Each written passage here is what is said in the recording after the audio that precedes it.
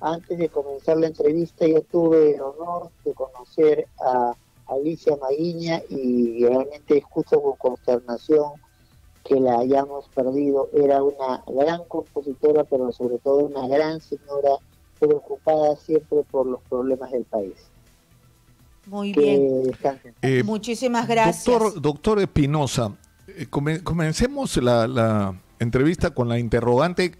O sea, yo sé que usted está en la posición complicada que va a tener que decidir eh, sobre este tema, pero la primera pregunta que surge es si es, digamos, competente lo que está haciendo el, gobierno. Es decir, se puede plantear una cuestión de competencia en este caso porque la constitución en, el tema de la vacancia es muy laxa, ¿no es cierto?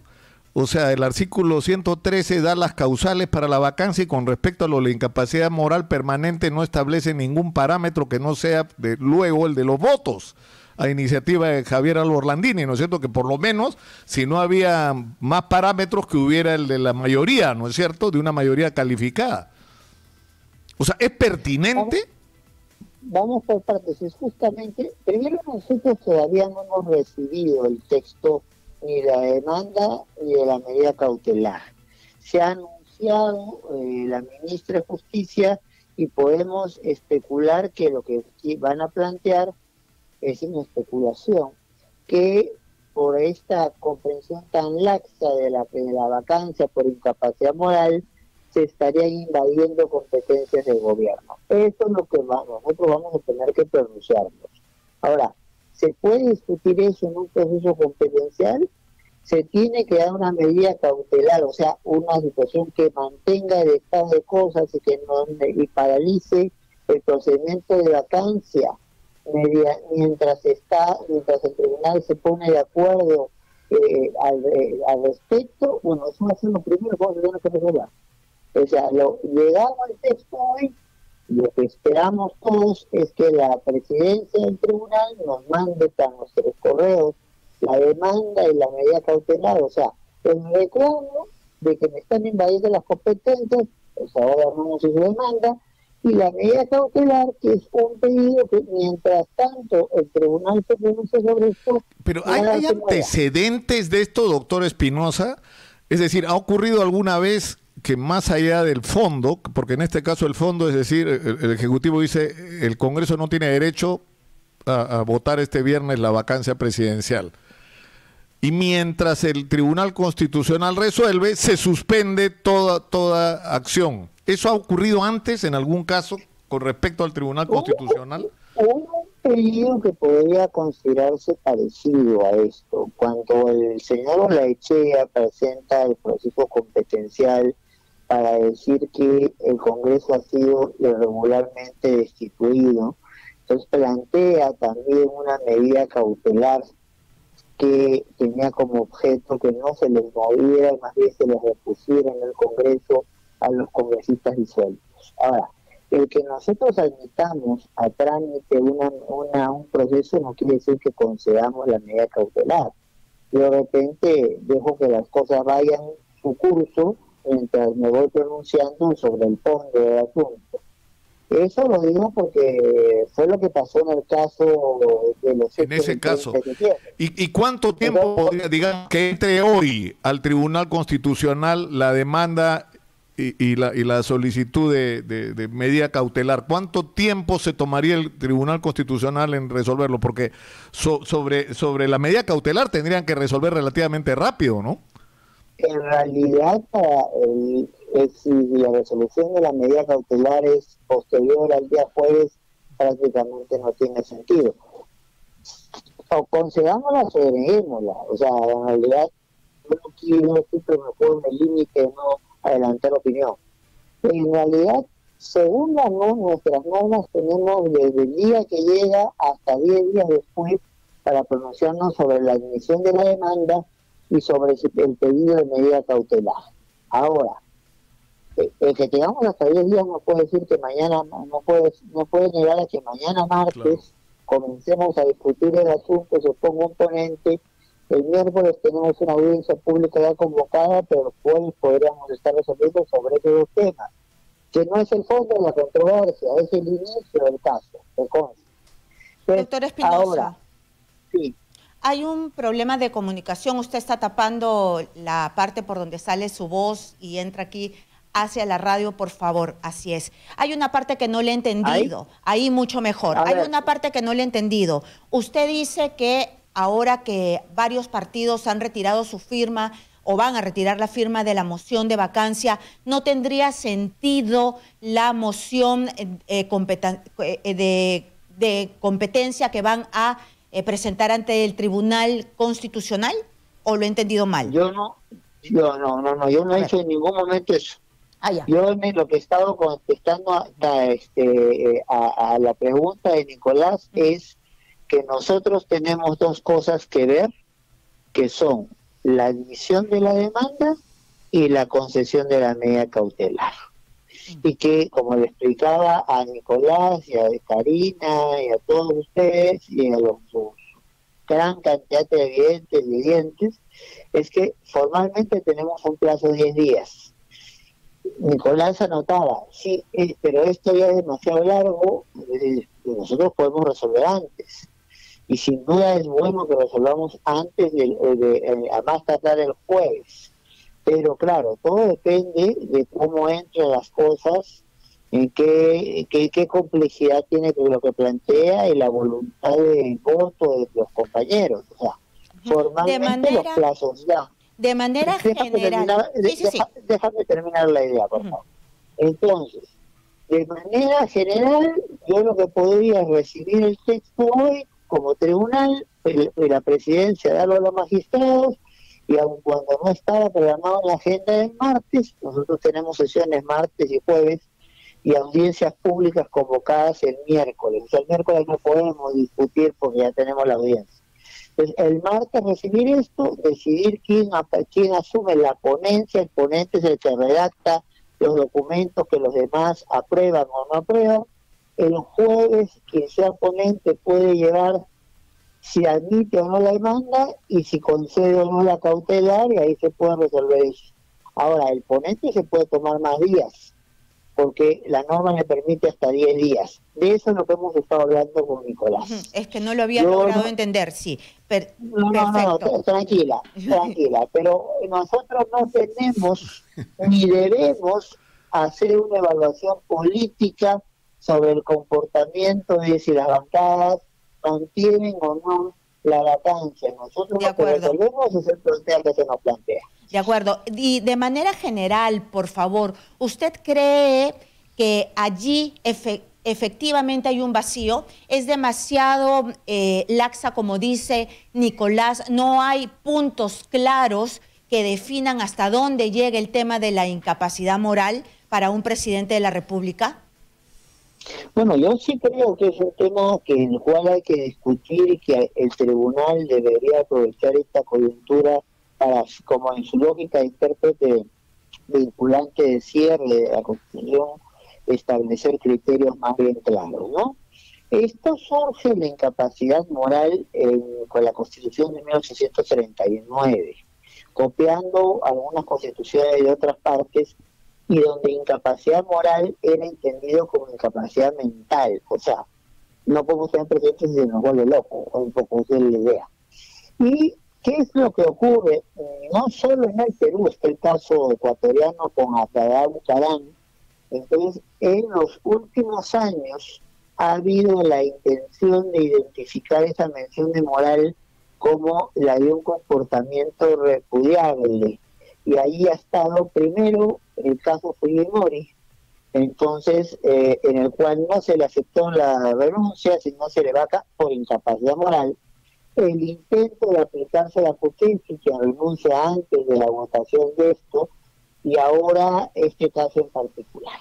Ahora, entonces lo que le corresponde al tribunal es fijar con claridad qué entendemos sobre esto porque no puede haber un supuesto tan abierto que dé para Claro, porque es, pero doctor doctor Espinosa, doctor Espinosa, o sea, el, el problema es este, ¿no es cierto? La, demanda de competencia tiene sentido en el punto en el que se pueda acreditar que el Congreso no tiene derecho a hacer lo que está haciendo. Ahora, ¿cuál es el problema? Que el artículo 113, en primer lugar, es tan laxo que dice que una de las razones para vacar al presidente es la permanente incapacidad moral. Y no dice nada más, por lo tanto resulta absolutamente subjetivo determinar en qué momento ocurre esta incapacidad moral. Y de qué depende que el Congreso ejerce el derecho a aplicar este artículo, de que tenga 26 votos para presentar una moción, 52 votos para admitirlo a debate en el Pleno y 87 votos para aprobarlo. Eso es todo, es increíble, pero vacar al presidente de la República. Es más fácil que sacar un alcalde o a un congresista en el Perú. Y puede resultar un tema que no estoy diciendo que este sea el caso, pero puede resultar algo absolutamente subjetivo. Eh, yo no voy a poder eh, usar calificativos como comprenderás, pero justamente para cuando hay vacíos o situaciones poco claras en la Constitución están los tribunales constitucionales. Ese es nuestro trabajo. Nuestro trabajo es, como diría, es concretizar, hacer entender, tratar de darle un significado conforme al respeto de los derechos y las competencias de cada quien cuando algo no está claro. Entonces, ese es precisamente nuestro trabajo. O sea, a ver, esto, esto, ¿cómo debe comprenderse esto? Eso probablemente sea la discusión central en este caso, porque si asumimos que el Congreso está vacando con una comprensión adecuada del 133, del 113, inciso 2, entonces no hay más que discutir, el Congreso tiene razón. Entonces, si asumimos que la comprensión que hace el Congreso es una comprensión abusiva, que no se sostiene, la resolución es muy clara. El gobierno, entonces, tiene razón. Doctor. Y si hay, algún comportamiento este, delictivo del presidente Vizcarra, el tema es bien claro. En primer lugar, nosotros no somos quienes decidimos si el señor Vizcarra ha cometido delitos o no. No nos toca pronunciarnos sobre eso. Nosotros no somos quienes vamos a determinar si entonces si el señor Merino quiso hacer algo contra el orden constitucional o no. Eso no nos toca a nosotros. A nosotros lo que se nos ha planteado es, en función de este artículo 113, inciso 2 de la Constitución, según lo que hemos escuchado a la ministra de Justicia entre ayer y anteayer, ellos lo que están diciendo, este artículo está siendo usado abusivamente y está quitándole competencias al presidente. Entonces, eso lo que va a significar es que nosotros nos pronunciemos sobre los alcances de ese artículo. ¿Qué se entiende por esa incapacidad moral para determinar si ha habido un abuso o no ha habido un abuso de esto en el caso concreto que estamos analizando? Si llegáramos a la conclusión de que ha habido un abuso, entonces pierde el Congreso y el presidente y el trámite de vacancia se corta. Si llegamos a la conclusión de que no ha habido un abuso, pues el presidente pierde y el Congreso seguirá haciendo el procedimiento de vacancia este y lo que quiera, este, con lo, con, este, bajo los parámetros que se han manejado en este caso. Eso es lo que tenemos que resolver nosotros. En estos criterios que ustedes van a analizar también se tendría que ver la mentira, es decir, un presidente que miente y miente y miente pierde legitimidad, ¿no? Es que el problema de nuestra resolución no es un tema de legitimidad como puede ser en otros casos. Entonces, en el problema de nuestra resolución es si esa, si, si alguien porque miente en un tema entonces se puede considerar como una situación de permanente incapacidad moral. Eso es lo que tenemos, o sea, lo que hay que ponerle un voto o una definición clara es a qué se entiende por incapacidad moral. Recuerde, por ejemplo, que a algún expresidente se le quiso plantear porque no había reconocido una hija. ¿Eso es permanente incapacidad moral o no? Entonces, eh, porque históricamente esto surge de otra manera, pero se ha ido entendiendo y en el caso peruano incluso invocando y aplicando para situaciones de mal desempeño y hasta colocando delitos o situaciones de indicio de delitos allí. Entonces, y ahí hay que irnos con cuidado porque formalmente la Constitución dice que el presidente solamente puede ser procesado durante su mandato por cuatro delitos el artículo 117. Disolver el Congreso sin autorización. no, no, impedir elecciones municipales y regionales, intervenir al Congreso o intervenir las instituciones electorales. En todos los otros casos, si el presidente hay indicio de la comisión de delito, terminando su mandato, así como hacían con los virreyes su juicio de residencia, terminando su mandato le pueden caer todos los, todos los vientos y lo pueden meter hasta la cárcel. Pero entonces hay que definir, entonces, si como esto eh, es un comportamiento delictivo o no, puede entrar dentro de esa lógica de incapacidad moral permanente. Eso es lo que vamos a tener que decir. Pero podría, yo, yo tengo una última pregunta, doctor Espinosa. ¿Podría ocurrir que el Tribunal Constitucional decida o diga que no, no, no tiene, eh, eh, digamos, facultades o razones para pronunciarse sobre este tema? ¿Puede ocurrir eso? O sea, que recibe eh, la, la, demanda y dice, la demanda es inadmisible, ni siquiera la vamos a tramitar. ¿Eso puede pasar? Puede pasar, porque finalmente hay ciertos requisitos de admisibilidad de una demanda para cualquier proceso constitucional y entre uno de ellos son requisitos es que yo mínimamente acredite que hay materia discutible y que hay una vinculación con una violación de algún aspecto constitucional.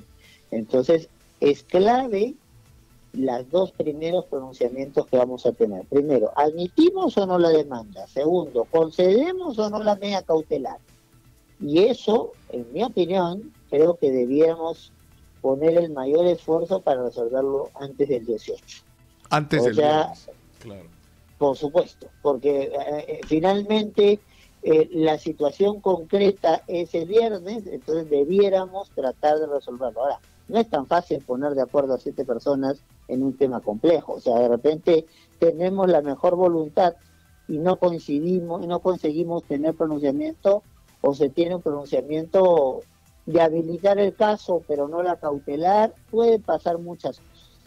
Pero lo que sí les aseguro, y con esto que termino, es que vamos a poner nuestro mejor esfuerzo para resolver esto con la mayor diligencia, la mayor imparcialidad y la mayor objetividad